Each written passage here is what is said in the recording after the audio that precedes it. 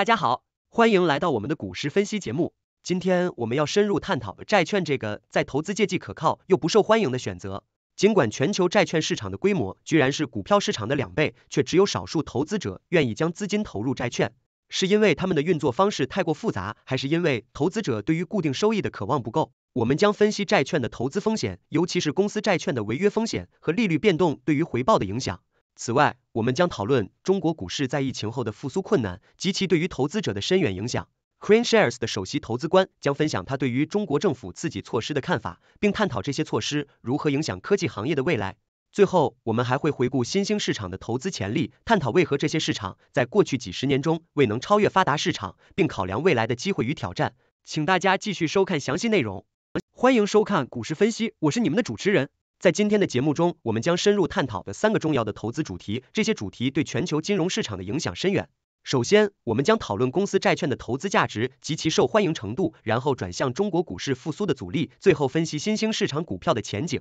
首先，让我们来看看 The Sydney Morning Herald 的一篇文章。这篇文章深入分析了公司债券这一投资选项。公司债券尽管被认为是金融市场中的稳定元素，但在普通投资者中并不十分受欢迎。根据澳大利亚证券交易所的调查，只有百分之六的投资者持有债券，而百分之六十的投资者持有股票，甚至有百分之十五的投资者持有加密货币。这一现象值得我们深入探讨。在金融市场中，债券是一种较为保守的投资方式，其运作方式与股票不同，类似于定期存款。公司或政府通过发行债券来筹集资金，而投资者则通过购买债券获得固定收益。例如，一家公司发行价值一千万美元的两年期债券，年回报率为百分之五。一位投资者购买了价值十万美元的债券，那么每年可以获得五千美元的回报，直到债券到期时收回本金。尽管债券市场的规模庞大，达到令人惊叹的三百万亿美金，但在普通投资者中却不受欢迎。主要原因之一是债券收益较低，与股市的高回报相比，显得不具吸引力。此外，债券市场的复杂性也使普通投资者望而却步。然而，债券确实为那些寻求稳定和确定性的投资者提供了一个良好的选择，特别是对于退休人员而言。债券投资并非没有风险，公司债券的主要风险在于在发行公司可能会违约，尤其是那些信用评级较低的小公司。高风险公司发行的债券被称为垃圾债券，虽然回报高，但违约风险也大。利率风险也是一个重要因素。当前澳大利亚的利率急剧上升，这对于债券投资者而言是个坏消息，因为当其他投资选项的利率更高时，债券的吸引力就会下降。接下来，我们来看一下来自 CNBC 的报道。这篇报道探讨了中国股市复苏的阻力。CranShares 的首席投资官布兰登·艾亨指出，中国经济在疫情后的复苏仍然缓慢，内地两大股指截至2024年都呈负值。艾亨认为，政府的刺激措施是激活中国股市的关键，特别是需要更强有力的财政支持。根据中国国家统计局的数据，六月份的消费品零售额略有收缩，这表明中国家庭仍然不愿意像疫情前那样消费。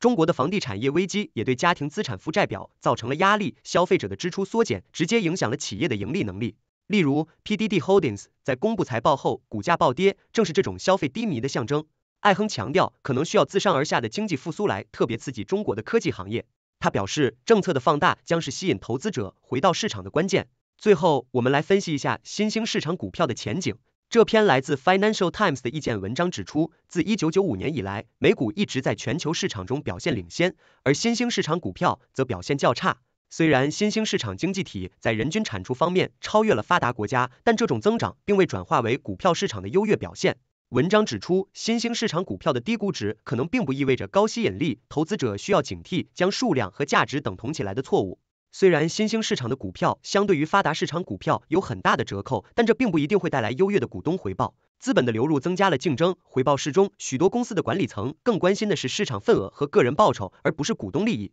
总的来说，新兴市场股票的估值折扣可能会缩小，但这并不意味着其持有者将会获得高回报。投资者应更多关注的是这些市场相对于历史和其自身基本面的表现，而不是简单的从估值角度来判断其投资价值。节目快要结束了，今天我们深度解析了公司债券的投资价值及其受欢迎程度，讨论了中国股市复苏的阻力，并分析了新兴市场股票的前景。这些话题不仅对投资者有重要意义，也反映了当前金融市场的一些趋势和挑战。希望本期节目的内容能够帮助大家更好的理解和应对这些复杂的投资环境。感谢您的收看，我们下期再见。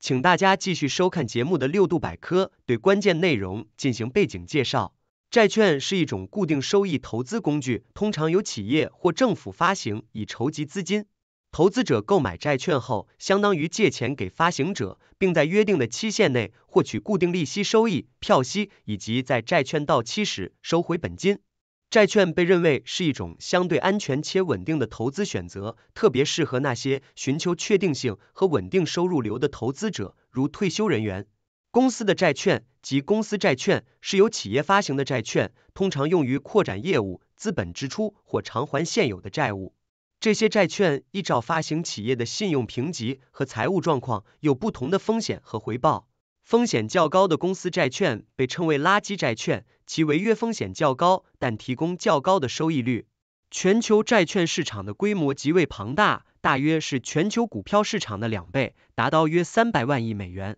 然而，债券在普通投资者中并不如股票受欢迎。根据澳大利亚证券交易所 ASX 的一项调查，只有百分之六的投资者持有债券，而百分之六十的投资者持有股票，百分之十五的投资者甚至持有加密货币。债券适合那些寻求稳定且确定回报的投资者，特别是在利率预计会下降的情况下更为有利。利率下降时，现有固定利率的债券价值通常会上升，因为新发行的债券回报率较低。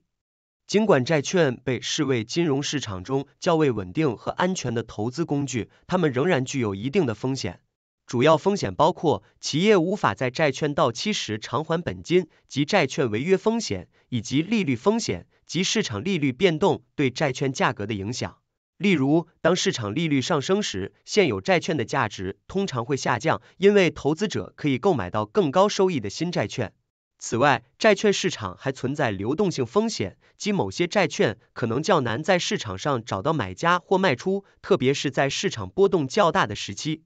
对于普通投资者来说，投资于债券的方式也可以通过债券基金或交易所交易基金 （ETF）。这些投资工具集合了多种债券，分散风险，并提供专业的管理。总结来说，债券是一种稳定的固定收益投资工具，适合那些寻求确定性和低风险的投资者。尽管债券市场规模庞大，但相较于股票，其在普通投资者中的受欢迎程度较低。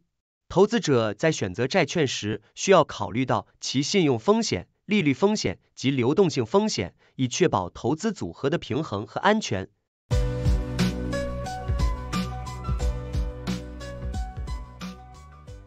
六度解析今日华尔街特别节目，全世界顶尖的媒体，全世界顶尖的智库，